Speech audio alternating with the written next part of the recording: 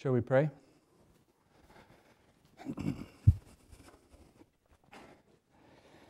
Heavenly Father, we thank you for bringing us together from so many different places. We ask that you would be here with us through the presence of your Holy Spirit and your angels, that you'd guide and direct the subjects that we're studying, and that you would bless us with understanding that would help us to better prepare our characters for your soon return and give us the information that we need to share with those around us about your soon return. We thank you for the travel mercies that you've extended to us and ask that you'd continue to watch over those that may still be on their way here. In Jesus' name, amen.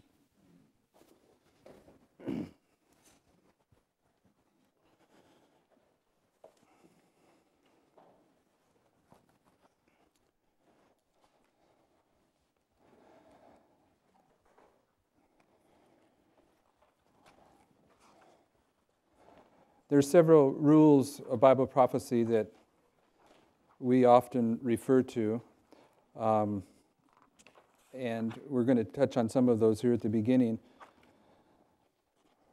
But one of the places I want to start with, a, a principle that we will deal with throughout this weekend, is that the Millerite history repeats um, in the history of the development and work of the 144,000. There are several passages of Scripture where this is illustrated and confirmed by Sister White. We're going to deal with that more than once this weekend, most likely. Um, but I want to put a couple of the references in place so you can remember at least that I referred to them early on. Um, in Great Controversy, page 393, Sister White says the parable of the ten virgins of Matthew 25 also illustrates the experience of the Adventist people. So, Sister White is saying that the parable of the ten virgins is an illustration of Adventism. And then in Review and Herald, August 19, 1890, she says, I'm often referred to the parable of the ten virgins, five of whom were wise and five foolish. This parable has been and will be fulfilled to the very letter, for it has special application to this time, and like the third angel's message, has been fulfilled and will continue to be present truth till the close of time.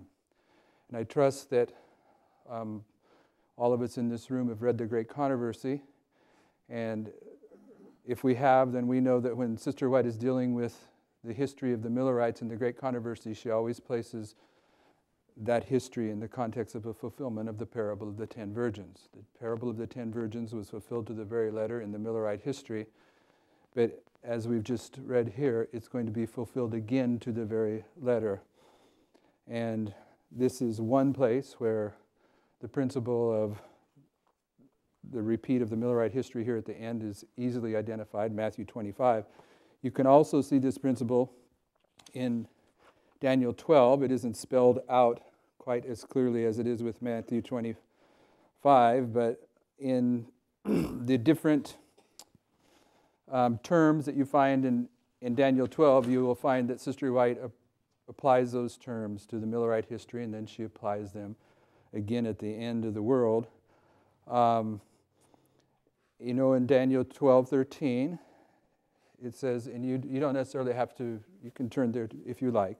Daniel 12, 13 says, But go thy way till the end be, for thou shalt rest and stand in thy lot at the end of the days. And I know that there are many ways to identify what stand, Daniel standing in his lot represents, whether it's his resurrection or whether it's the judgment time. But in terms of Daniel as a prophetic message, I like a, a statement that Sister White has in Manuscript Volume 6, Manuscript Releases, Volume 6, page 108. She says, When God gives a man a special work to do, he is to stand in his lot and place as did Daniel, ready to answer the call of God, ready to fulfill his purpose.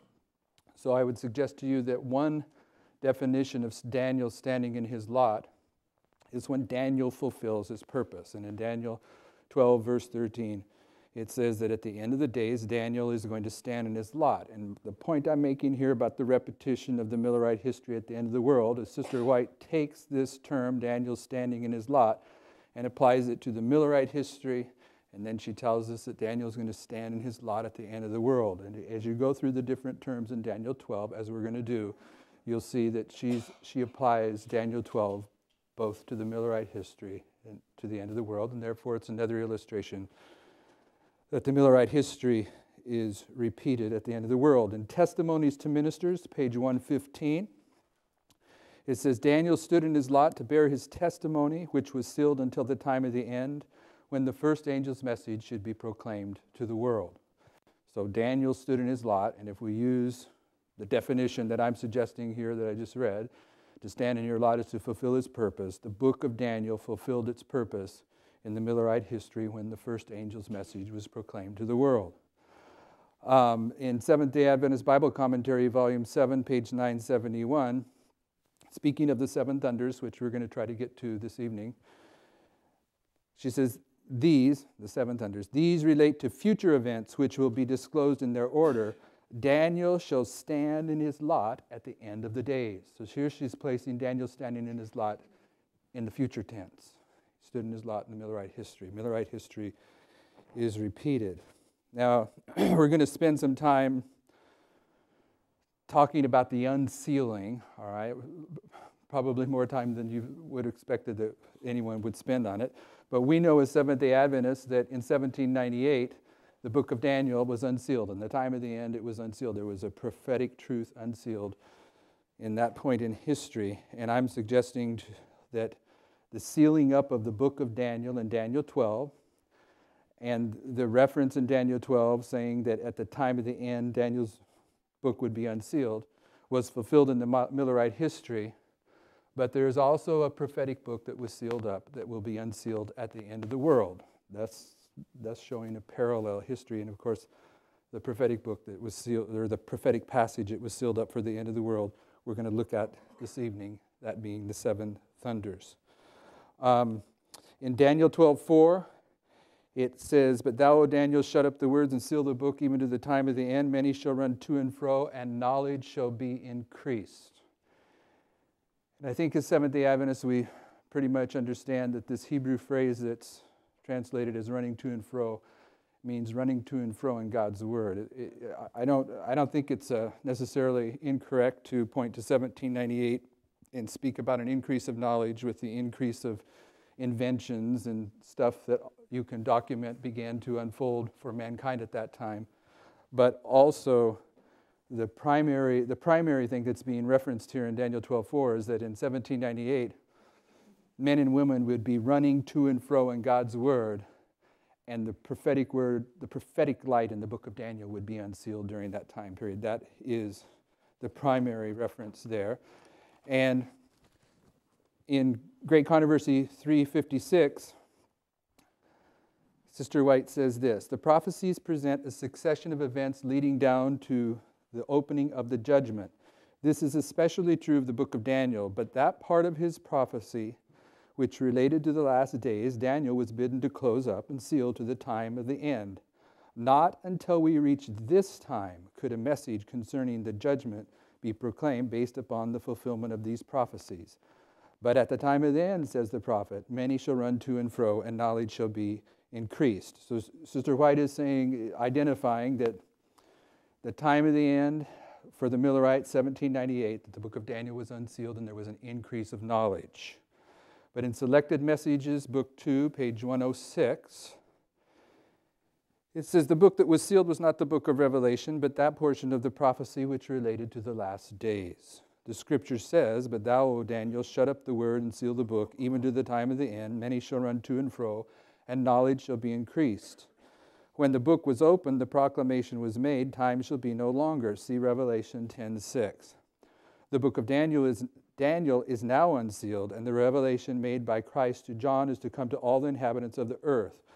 By the increase of knowledge, a people is to be prepared to stand in the latter days. So there was an increase of knowledge in the Millerite history in 1798, but there's going to be an increase of knowledge that prepares God's people to stand in the latter days. So what I'm saying is, is that as you go through and you look at the terms in Daniel 12, you'll find inspiration using those terms to as being fulfilled in the Millerite history and using those terms to point forward to a fulfillment at the end of the world. And this is teaching the same thing that Sister White tells us about the parable of the ten virgins. It has been fulfilled in the Millerite history to the very letter, and it will be fulfilled again to the very letter at the end of the world.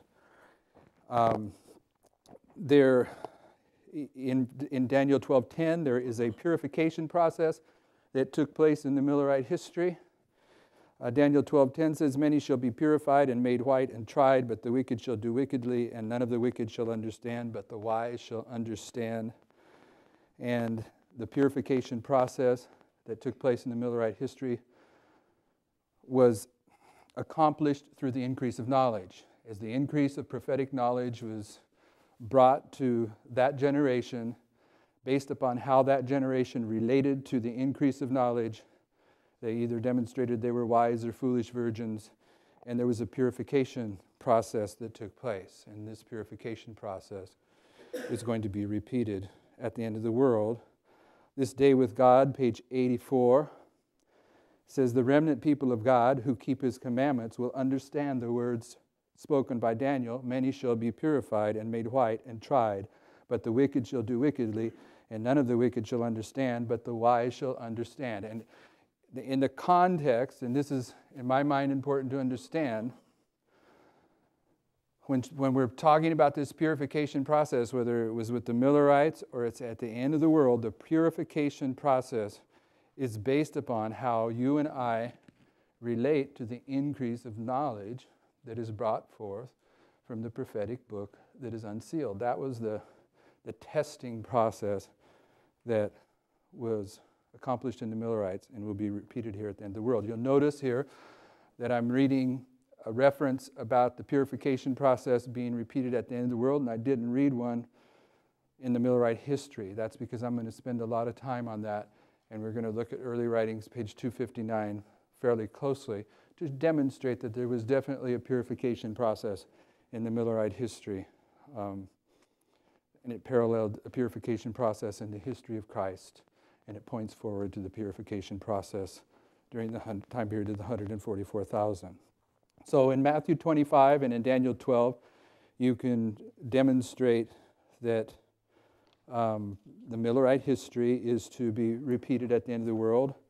Um, I won't spend time on Revelation 14, um, but you, most of us are familiar that Sister White says the first, second, and third angel's messages, the first, second angel's messages will need to be repeated. Well, the, those messages came into the Millerite movement at a certain point in history, and they were tests for the Millerites. And when we're told they're going to be repeated, it does not simply mean exclusively that the theological content of those messages are going to be repeated. It means the experience that is associated with those messages is also to be repeated. So, correctly understood, you can demonstrate, and there are quotes to go with it, that Revelation 14 also illustrates that the Millerite history is to be repeated at the end of the world.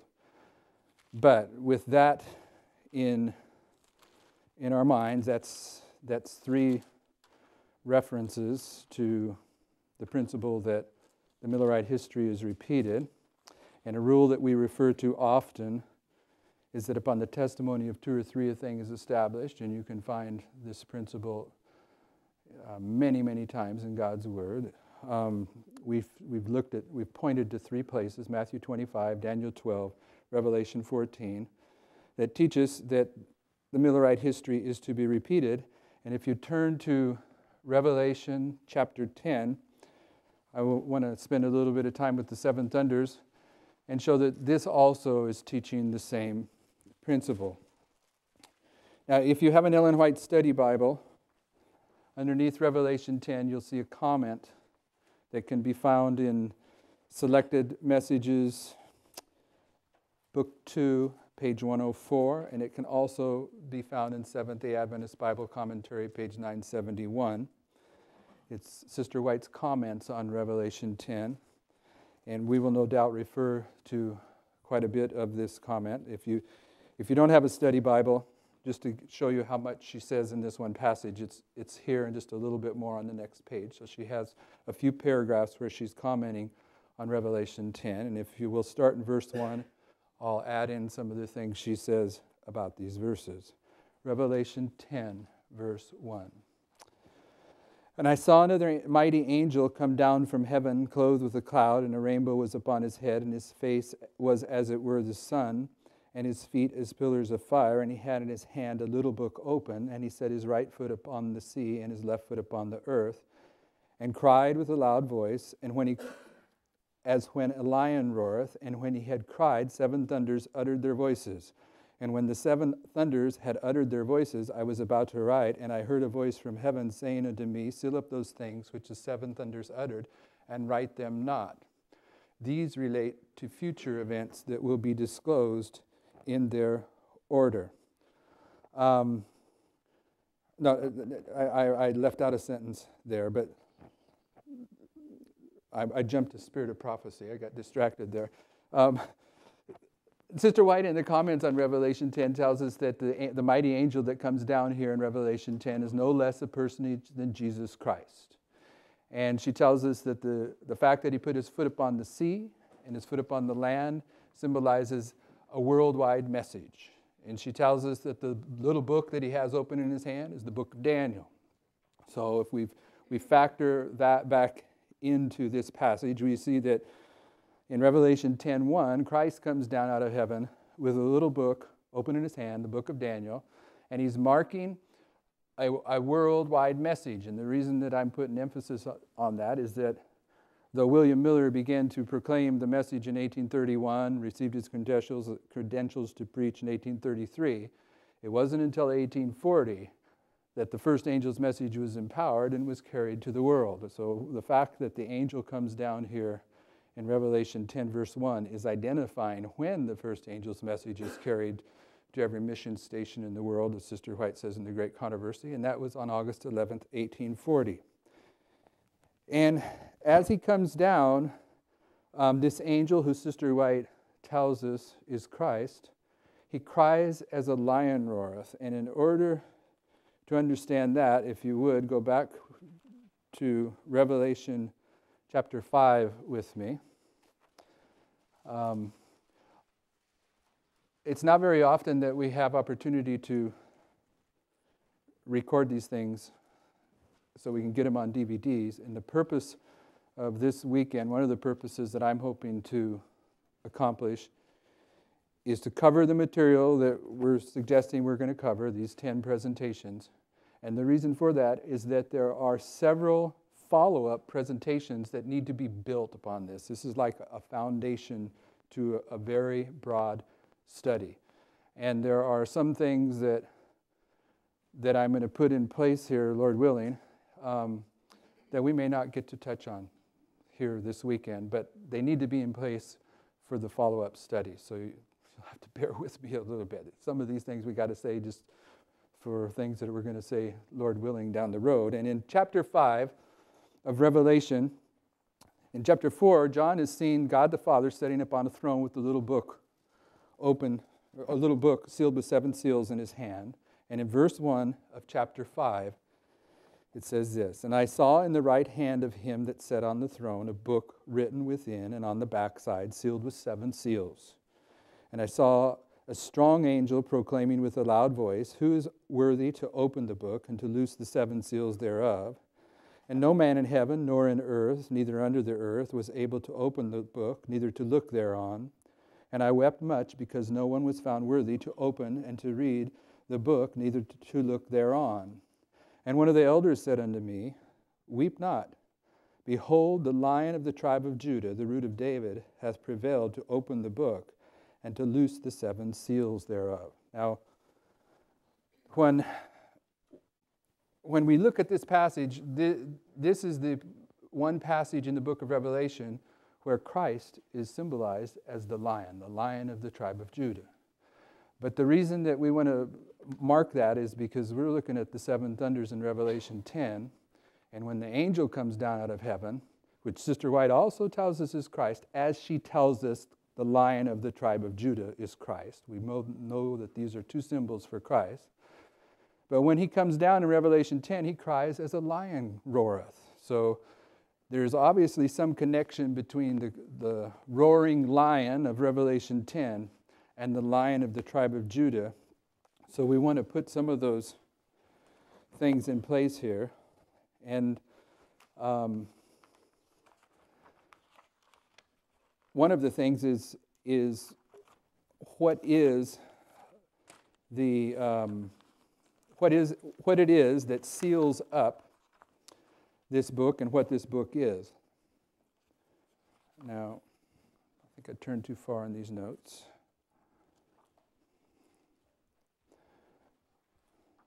If you go to the Ellen White or the, the Seventh day Adventist Bible commentary, they suggest that the, the book that is sealed with seven seals is a divine history book, and that is partially correct in the sense that the Bible is a divine history book.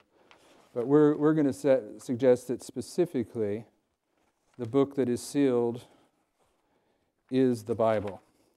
Um, it's Seventh day Adventists. Nope, that's not the one I want. Um,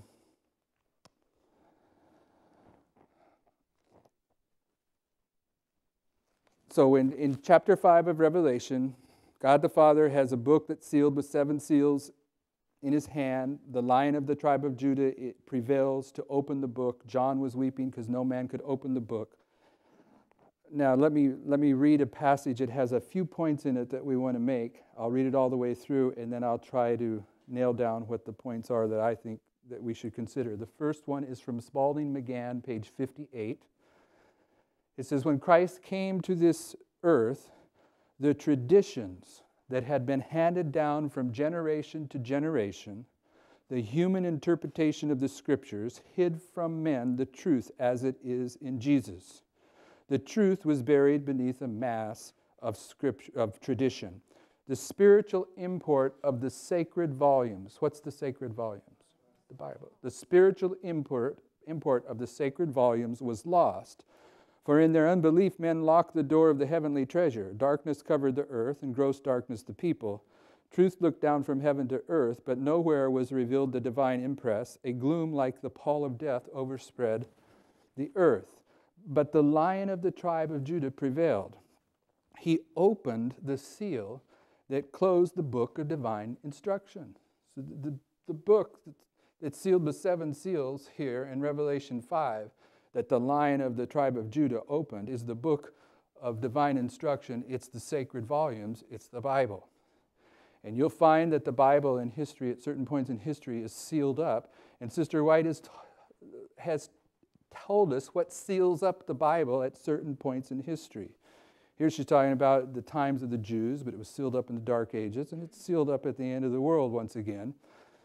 And she's already told us what it is that seals up this book that's sealed with seven seals. She says it's through traditions and human interpretation of scriptures that have been handed down from generation to generation. That's what seals up the Bible. It's not simply a divine mandate that no man can understand the Bible because the Lord says no man can understand the Bible until this point in time. It's the fact that the Lord foresees that as time progresses, the truth that has been established by one generation is going to be lost as generation after generation hands down traditions and customs and teachings of men. Now, continuing on with this quote, um, she says, But the lion of the tribe of Judah prevailed. He opened the seal that, was, that closed the book of divine instruction. The world was permitted to gaze upon pure, unaltered, unadulterated truth. Truth itself descended to roll back the darkness and counteract error.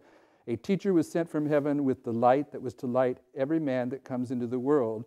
There were men and women who were eagerly seeking for for knowledge, the sure word of prophecy. And when it came, it was as a light shining in a dark place. So here she's also emphasizing that when Christ, as the lion of the tribe of Judah, unsealed the book that was sealed with seven seals, that were people looking for knowledge. And knowledge here is defined as the sure word of prophecy. And Sister White says several different ways, several times, that the books of Daniel and Revelation are the same book. They bring each other to perfection. She says the same line of prophecy that's in the book of Daniel is taken up in the book of Revelation, the same book. So when we see in Daniel 12 that Daniel's book is sealed up till the time of the end, and we see here in Revelation 5 that the lion of the tribe of Judah has prevailed to unseal the book that is sealed, we are seeing the unsealing of the book of Daniel for the Millerites at the time of the end in 1798. That's what's taking place in chapter 5. And then, of course, we know as Seventh day Adventists, from this point on, Christ, the lion of the tribe of Judah, begins to remove the seals of that book, and those seals represent the history that the pioneers of Adventism came to understand as their message that is represented on these two charts up here. And we're going to deal with these charts as we proceed. How many are unfamiliar with these two charts? No one, everyone knows what these two charts are. The one on the left is the 1843 Pioneer chart. The one on the, the right is Nichols' 1850 chart. Both those charts have divine endorsement as being prepared by the Lord. That's my word, but that's the divine endorsement. And the truths that are on those charts are the truths that the Millerites put together in the time of the end when the book of Daniel was unsealed. And the foundational understanding is the, the histories that are represented by the seals that were being unsealed from chapter 5 onward in the book of Revelation. It's the histories represented by the trumpets, it's the histories of the churches, among other things. Um, in Signs of the Times, May 17th, 1905, still dealing with the idea of what it is that seals up the Bible. It says, The scribes and the Pharisees profess to explain the scriptures, but they explain them in accordance with their own ideas and traditions. Their customs and maxims became more and more exacting. In a spiritual sense, the sacred word became to the people as a sealed book closed to their comprehension.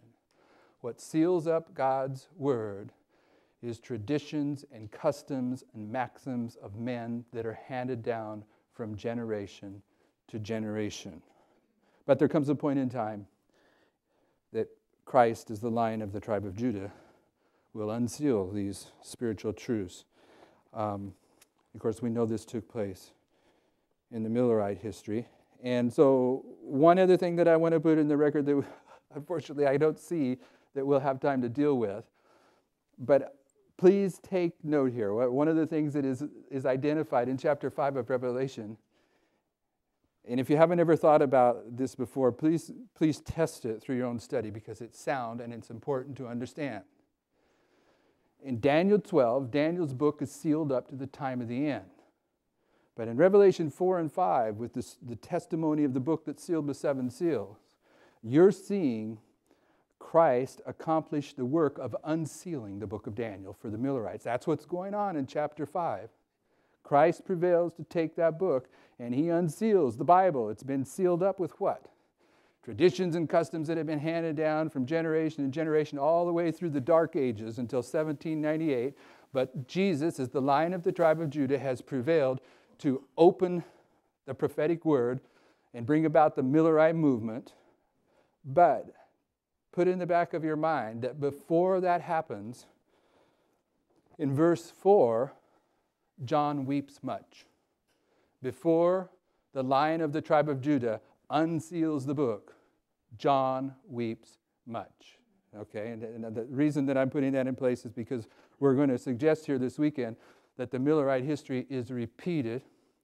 And one of the things that takes place in the Millerite history is prophetically, John weeps much, and then the lion of the tribe of Judah begins to unseal the prophetic word for the Millerites in the time of the end, the 1798 time period. And we're going we believe, although I don't know that we have time to get here this weekend, that William, Miller dream, William Miller's dream is pointing forward to a time in Earth's history when the truths that are to be awakened for the 144,000 are awakened. And if you remember William Miller's dream and the story of the dirt brush man and the scattering of the jewels, and William Miller becomes very distressed that the people have taken the jewels out of the casket and scattered them all over the floor. The casket that he had placed on a table that was full of jewels for everyone to come and see. Well, we're suggesting that the jewels are the truths that the Lord used to put the foundations of Adventism together. In fact, if you've, if you've ever asked yourself, why is it that William Miller in his dream was told the size of the box? It was 10 by 6 square. Why do we have to know that? Why do we have to know that the box the jewels were in were 10 by 6 square? Because if you go 10 by 6 by 6, you come to 360, and you're seeing that the year day principle is represented in that casket, which is the primary rule of prophetic interpretation that William Miller used to assemble those truths. And there was a key attached to that casket, if you remember. James White, when he's commenting on it, said that key represents the rules of prophetic interpretation adopted by William Miller. So that, that's what William Miller's dream is all about putting together the foundational truths of Adventism, but over time, people come in and they take the jewels out of the box and they throw them on the floor and they bring in false jewels and counterfeit coins, coins and they cover them up.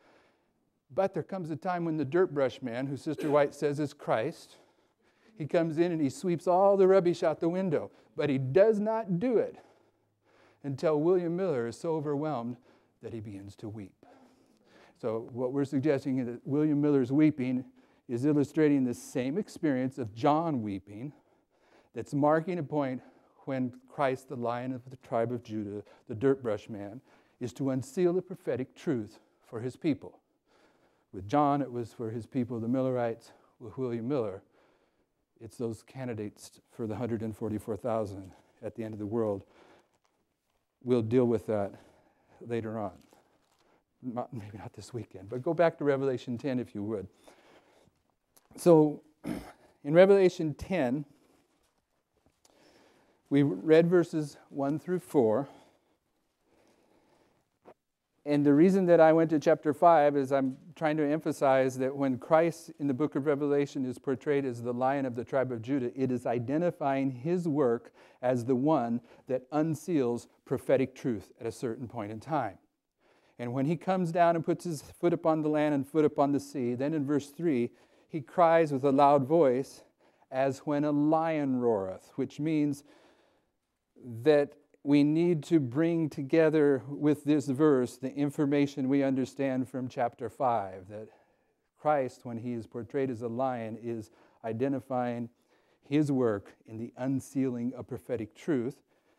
And when he cries, seven thunders uttered their voices, and then John is told to seal up those things which the seven thunders uttered. So, right here, when he's crying as a lion, this lion, we're not seeing him unsealing anything at this point, but we're see, seeing something sealed up. So, we're seeing some kind of connection there. And in this comment by Sister White, that you have in an Ellen White Study Bible if you have it, or in Bible Commentary, Volume 7, page 971, she says something very important, I believe.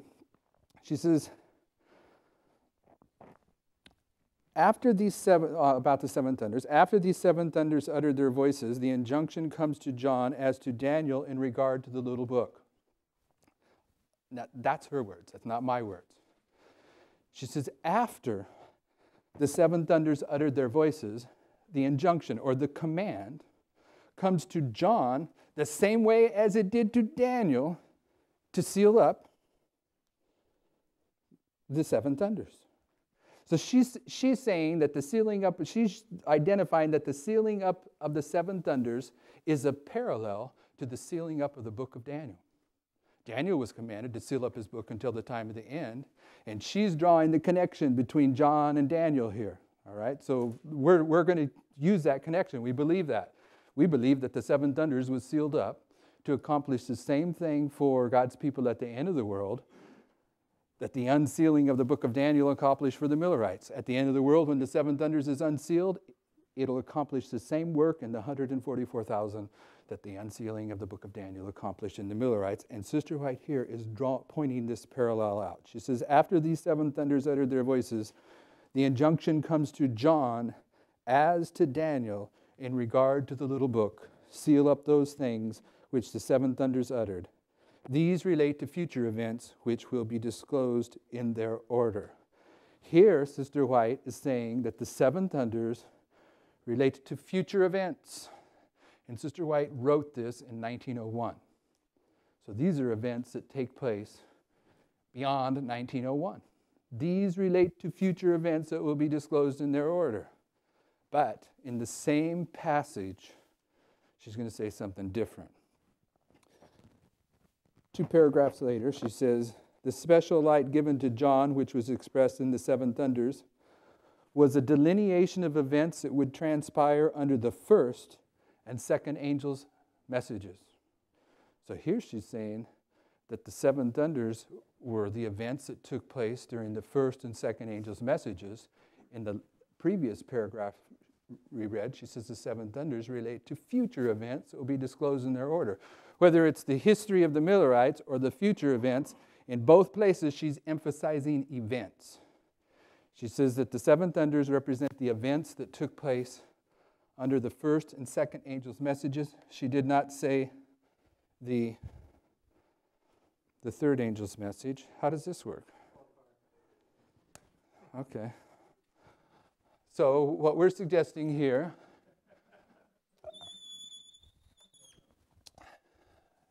is that, and we're going to deal with this Millerite history quite a bit here.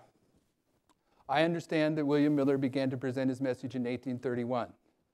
Um, but I mark his, the beginning of his work in 1833. But if you want to say 1831, then you're right and I'm wrong. I, that isn't a big, that isn't something worth fighting over, but I mark 1833 not simply because he received his credentials, but in 1833 you have the falling of the stars.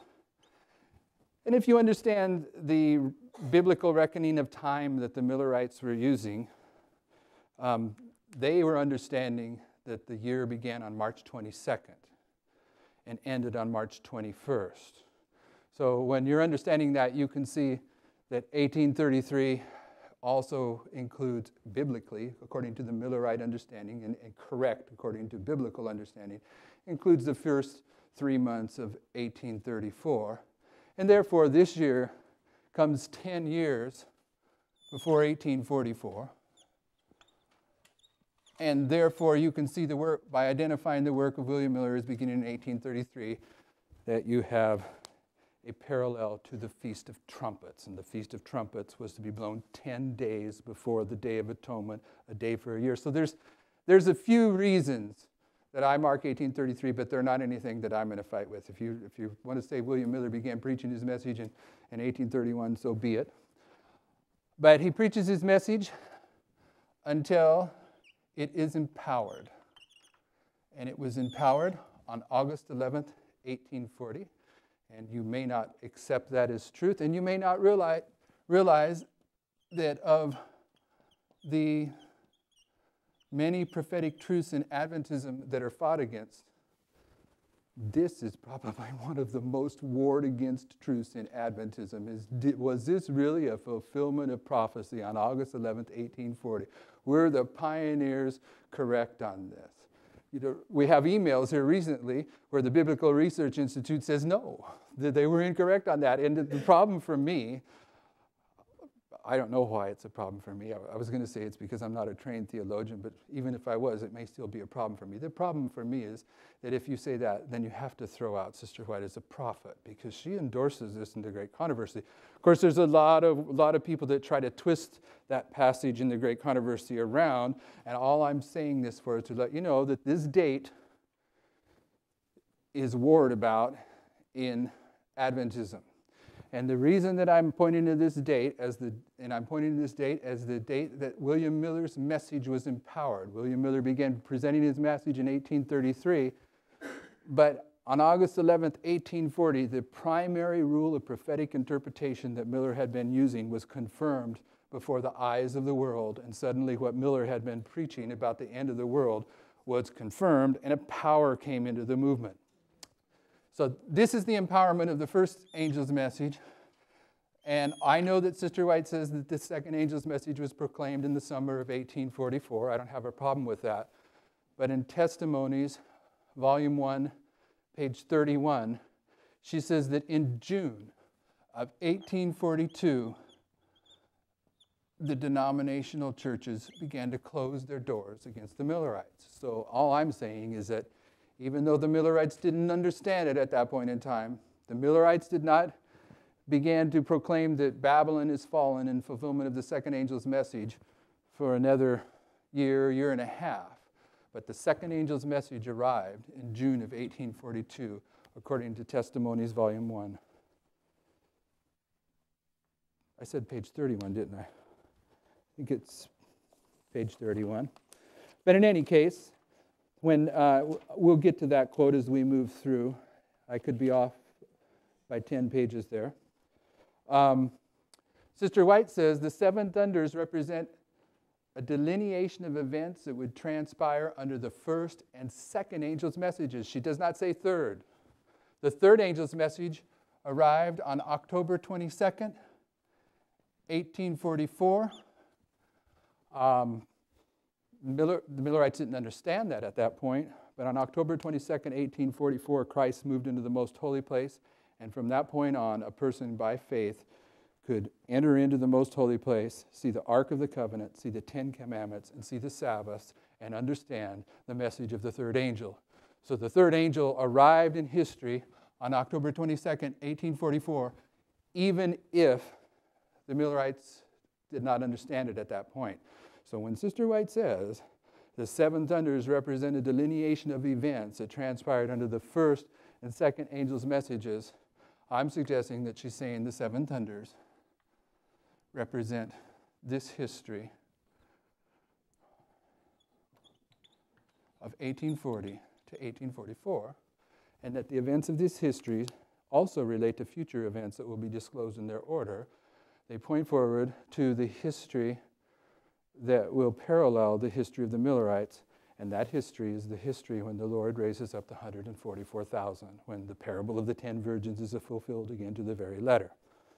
Now, as, as Adventists, we know that, that the book that sealed the seven seals in chapter 4 and 5 of, of Revelation, it's the Bible, and that as it was unsealed, each of these seals represent a portion of history, and it became part of our foundational understanding of prophecy. There is no other, there is no other passage in the book of Revelation that is sealed up now. That, the, the book that's sealed with seven seals, been unsealed. The only part of Revelation that is still sealed up is the seven thunders. Verse 4 says, And when the seven thunders had uttered their voices, I was about to write, and I heard a voice from heaven saying unto me, Seal up those things which the seven thunders uttered, and write them not. You can read Revelation from front to back, and the only prophecy that's sealed up is the seven thunders.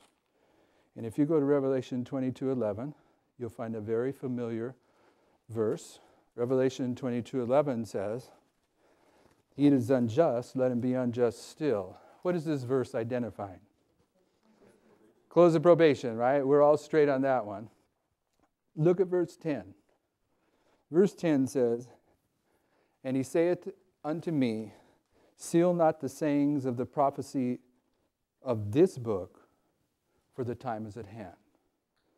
Just before the close of probation, there comes a pronouncement to unseal. Seal not the sayings of the prophecy of this book. Unseal the prophecy of this book that has been sealed up, for the time is at hand. There comes a time in Earth's history when the prophecy in Revelation that's been sealed up is unsealed, and the only prophecy in Revelation that's been sealed up is the seven thunders. I, one of the things I'm suggesting here before we even begin to consider the implications of this is that whatever the seven thunders represents prophetically, whatever it is, when it's unsealed, it will be unsealed to God's people just before the close of probation. And it will parallel the unsealing of the book of Daniel for the Millerites. The Millerite history is going to be repeated again to the very letter. And there are uh, many, many ways to show this, many, many ways to show this. But that's what we're saying is that whatever the seven thunders represent, that when it finally begins to be understood, then among other things, you know that probation is about to close. And of course, you're probably familiar that Sister White tells us that the people of the United States are going to force the legislators of the United States to pass a Sunday law. And here's her words in order to return to temporal prosperity. Just before the Sunday law, the temporal prosperity in the United States is removed. And when the tem- temporal prosperity is being removed, in Testimonies, Volume 9, Sister White has a statement I'm sure you're all familiar with where she says, The leaders of the United States, that's a paraphrase, but then this is her words, are struggling in vain to put business operations on a more secure basis. And that's word for word. Brothers and sisters, do you see that going on? They're struggling in vain right now to put business operations on a more secure basis. And when the economy goes under, this time it is preparing the environment for the people of the United States to force the legislators to pass a Sunday law. And, brothers and sisters, we need to be clear. At the Sunday law in the United States, if you and I are a Seventh day Adventist living in the United States, our probation closes. And I know that there's lots of Seventh day, probably most Seventh day Adventists do not understand that. But we know that we're judged by light, and not, not simply light, we're judged by the light we could have had if we would have availed ourselves of opportunity to receive that light. And we know that Sister White tells us no one receives the mark of the beast without understanding the implications of Sabbath and Sunday. And we know that Seventh day Adventists at the Sunday law are going to be without excuse to not understand the distinction between Sabbath and Sunday. And when the Sunday law arrives, we're going to be held accountable for that light, and our probation closes. So, what I'm saying, I just gave you one example, just one example. There are many. There are many. Just the economy is giving testimony to the fact that the Sunday law is about to arrive and our probation is about to close.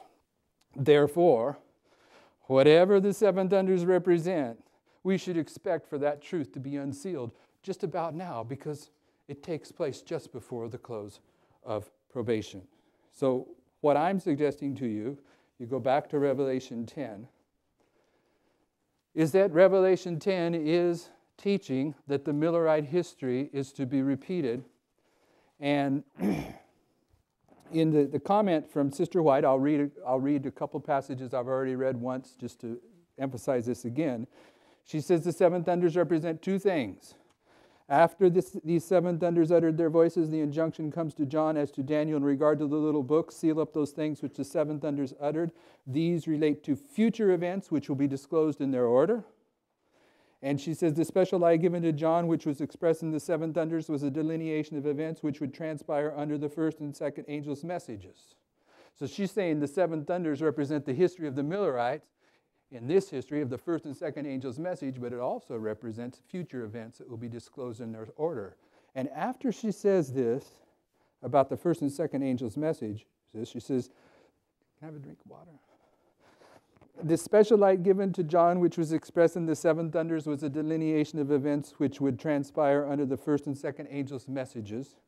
It was not best for the people to know these things, for their faith must necessarily be tested.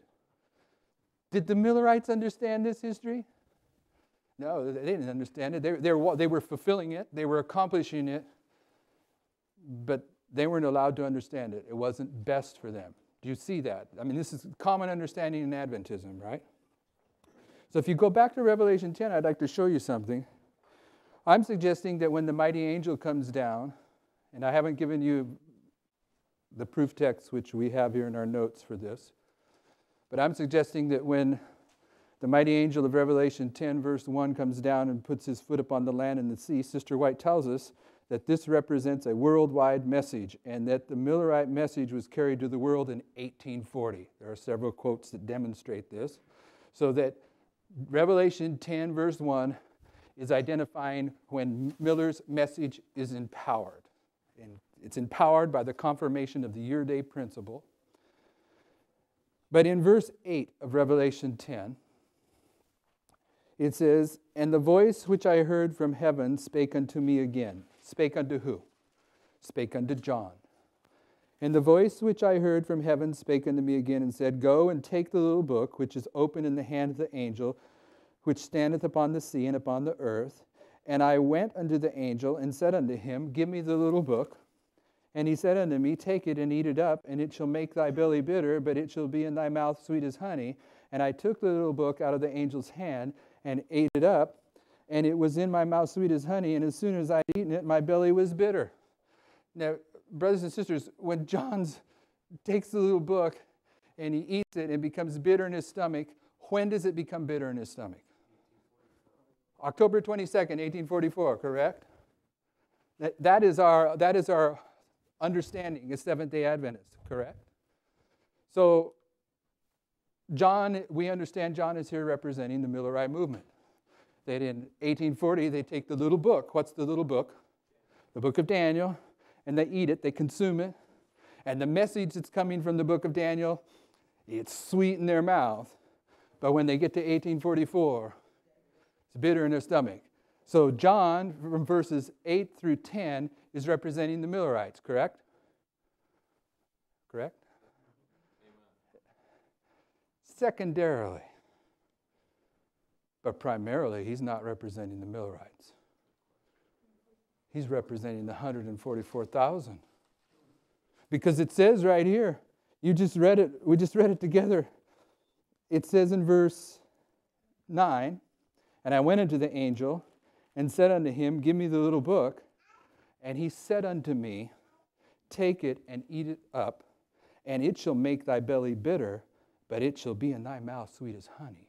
John's representing a people that know before they take the little book that it's going to be sweet in their mouth and become bitter in their stomach. The Millerites, it wasn't best for them to understand this, but there is a people that know this history in advance. And that's why verse 11 says, And he said unto me, Thou must prophesy again before many peoples and nations and tongues and kings. John is primarily representing the 144,000 that understand this history, that understand it, and they, they are going to consume a prophetic message that's going to be sweet in their mouth, and they know there's a bitter disappointment coming before it happens, but they're going to enter into that experience anyway. And this truth is the same thing that Sister White is saying about the seven thunders. She's saying the seven thunders represents the history of the Millerites, the time period that they took little book and ate it, and it became bitter in their, in their stomach. But she's saying it represents future events that will be disclosed in their order. She's saying the same thing. She's saying the Millerite history is going to be repeated to the very letter at the end of the world. And what we're suggesting here is that it is, is that it is this truth that brings the prophetic message at the end of the world to life. Once you understand that the Millerite history is going to be repeated to the very letter, there are passages in prophecy that you just couldn't see before that suddenly jump out and take your attention like they never have before. Now, I'm not saying, don't leave here thinking that I'm saying that John in verses 8 through 10 does not represent the Millerites. I'm saying he represents both the Millerites and the 144,000. But brothers and sisters, primarily he represents the 144,000. The Bible, the Spirit of prophecy both teach very clearly that the prophets were speaking about the end of the world. The very end of the world is when all the prophets wanted to live. This, this time period that we're living now in is the focus of end time Bible prophecy. And the, the demonstration, the history that was recorded of the Millerites, is just another testimony for God's people living at the end of the world so that they can be prepared to accomplish the work in their life and in the world that they're going to accomplish during the latter rain. So that's the, the first thing I would like to put in place, and I have but a f- few minutes left.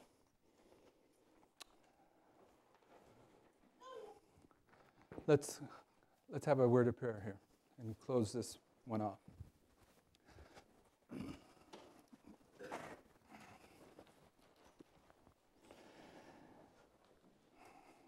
Heavenly Father, we wish to be among those that are identified as the 144,000.